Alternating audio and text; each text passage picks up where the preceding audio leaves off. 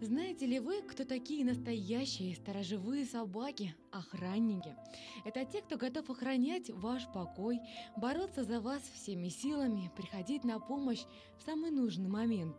Ведь даже тогда, в Великий Май Победы, до Берлина дошли не только люди, но и самые верные спутники – псы.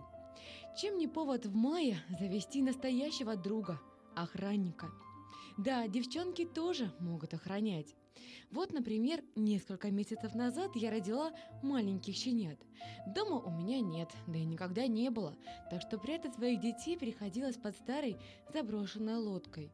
Было сложно. Вы бы видели, как я их охраняла. Не подпускала чужих даже на пушечный выстрел.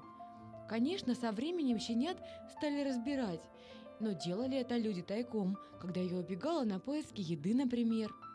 Прошло много времени, и от целой банды моих щенят остался только один. Вот этот. Вот и живем мы теперь вдвоем под этой старенькой лодкой. Здесь очень грязно и постоянная слякость. А когда дует ветер, нет даже укрытия.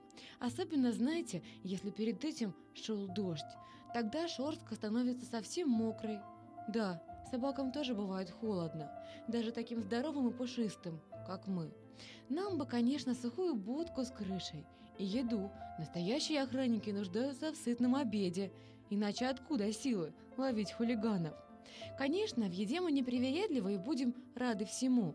Но самое главное, чему мы будем рады и чего очень ждем, это, конечно, человек, которого гордо можно называть хозяином, а он будет гордиться мной. Или вот этим парнишкой, который совсем скоро вырастет самым настоящим псом – и будет лаять громче всех.